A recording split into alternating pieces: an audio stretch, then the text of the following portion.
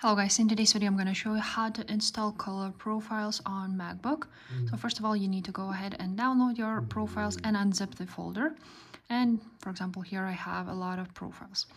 Now what you need to do is press on the go button right there at the top and then press on computer, then Macintosh HD, library and color sync.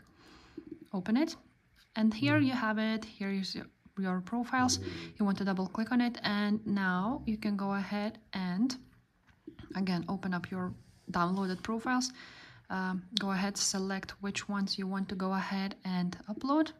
Drag it to the folder or the, the profiles. Now you will need to enter your password or use your touch id and after that your profiles were successfully uploaded. So if this video was helpful make sure to subscribe Leave a like, and I will see you next time. Bye.